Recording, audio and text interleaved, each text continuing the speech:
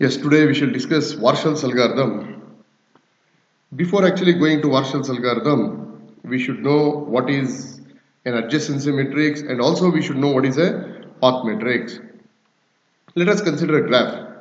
It is just a three vertex graph.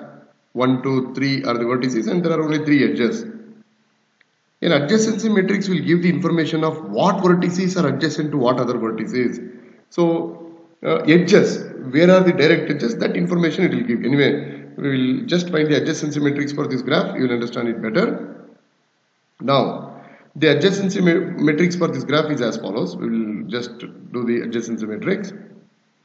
1 to 1, is there a direct edge? No. Therefore, it is 0. 1 to 2, is there a direct edge? No. Therefore, it is 0. 1 to 3, yes. Therefore, it is 1. 2 to 1, yes, there is a direct edge. Therefore, it is 1. 2 to 2, no. 2 to 3, no. 3 to 1, no. 3 to 2, yes, there is a direct edge from 3 to 2, 1. 3 to 3, there is no direct edge. Therefore, it is 0. So, the number of ones in this adjacency matrix will be exactly equal to the number of edges in the given graph. So, we understood what is adjacency matrix. Next, we will understand what is a path matrix. Let us consider the same graph. Three vertices are there, three edges are there. Let us consider the same graph and now we shall find the path matrix. What is a path matrix? It will give the information of what vertices are reachable from what other vertices. Anyway, I think you will understand with an example. Yes, we will find the path matrix for this graph. Yes. Now, is there a path from 1 to 1? Yes, there is a path. How? 1 to 3, 3 to 2, 2 to 1. Therefore, it is 1. Next, is there a is there a path from 1 to 2? Yes. 1 to 3, 3 to 2. Is there a path from 1 to 3? Yes, there is a direct edge. Yes. Is there a path from 2 to 1? Yes, there is a direct edge. 2 to 2? Yes. 2 to 1, 1 to 3 and 2 to 2. 2 to 3? Yes. 2 to 1 and 1 to 3. Next, uh, is there a uh, path from 3 to 1? Yes. 3 to 2, 2 to 1. Is there a path from 3 to 2? Yes, there is a direct edge. Is there a path from 3 to 3? Yes, 3 to 2, 2 to 1 and 1 to 3. Yes, this is the path matrix. So now we know what is an adjacency matrix and what is a path matrix. Now directly we will go to the Warshall's algorithm.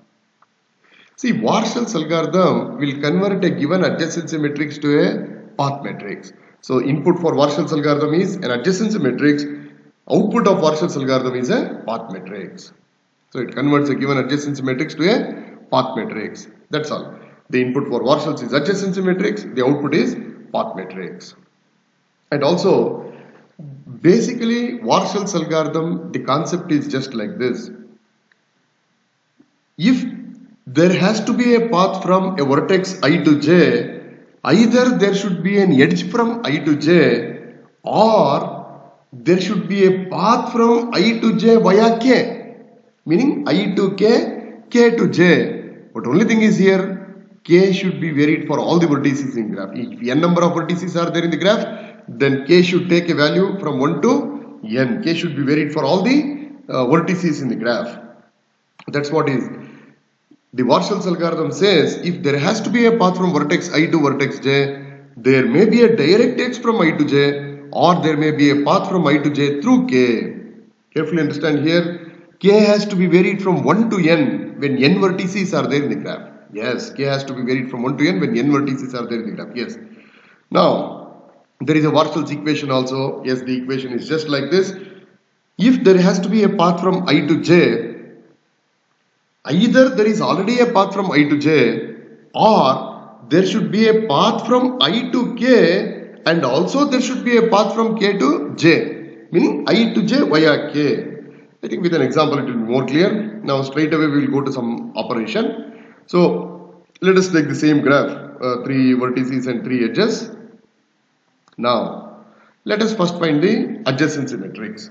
So 1 to 1 no edge 0, 1 to 2 uh, no edge 0 1 to 3 there is an edge 1 2 to 1 there is an edge 1 2 to 2 no edge 0 2 to 3 no edge 0 3 to 1 no edge 0 3 to 2 there is an edge 1 3 to 3 no edge 0 so we have written the adjacency matrix now from this adjacency matrix we have to get the path matrix now what we will do is we will consider the value of k as 1 first. Meaning and also before going to that I have written the idea box also here. And I will not explain the idea box. I think you should get a feeling of this idea box. It is quite simple. Uh, I will not explain this. You will get a feeling of that idea box. So straight away we will take k is equal to 1 meaning via 1 is there a path? See in the adjacency matrix direct edges are written okay direct edges they are made 1 whereas now we will make 1 if there is a path via 1 for that whatever ones are there in the adjacency matrix you have to retain them because already there is a direct edge means it is one only. Therefore one here one here one here yes. Whatever ones are there we retain them like that. Now we will compute one to one. See vertically you see one to one. Horizontally you see one to one.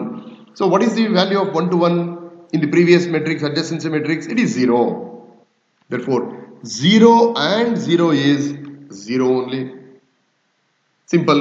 You should do the AND operation. See the idea box. You should do the AND operation.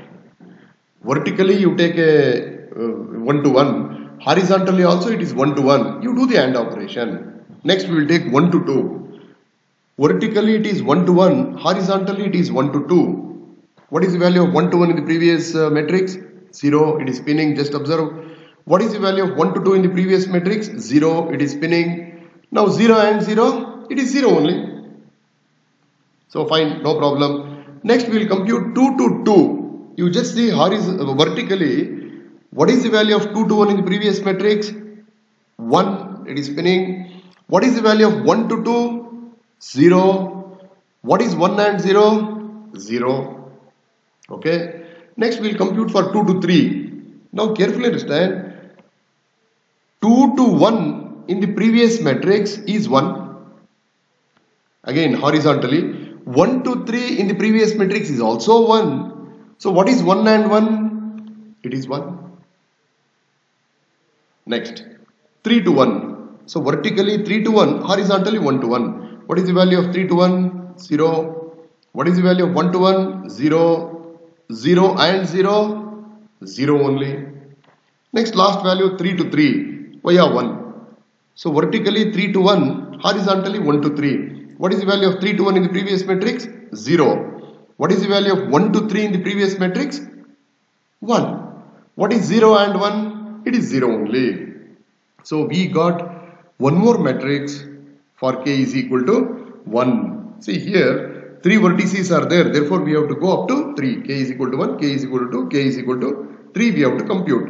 Next, let us do for k is equal to 2.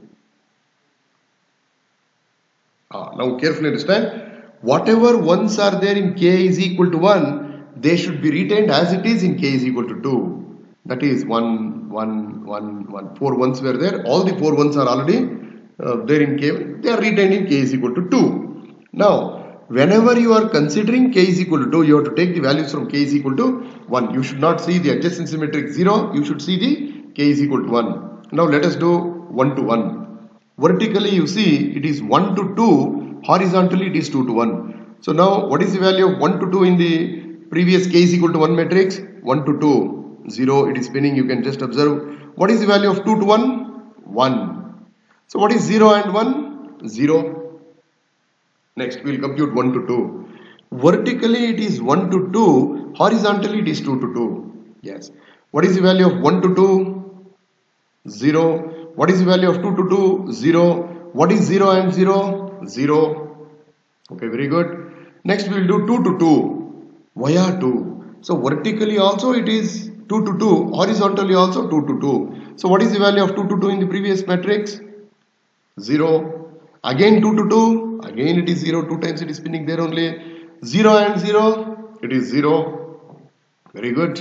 Next we will do 3 to 1. 3 to 1 why are 2? That means vertically 3 to 2 horizontally it is 3 to 1 what is the value of 3 to 2 yes it is 1 What is the value of 2 to 1? That is also 1. So 1 and 1 is 1. You make this 1. Next you consider 3 to 3 via 2. Meaning 3 to 2 vertically, 2 to 3 horizontally. What is the value of 3 to 2 in the previous matrix? 1.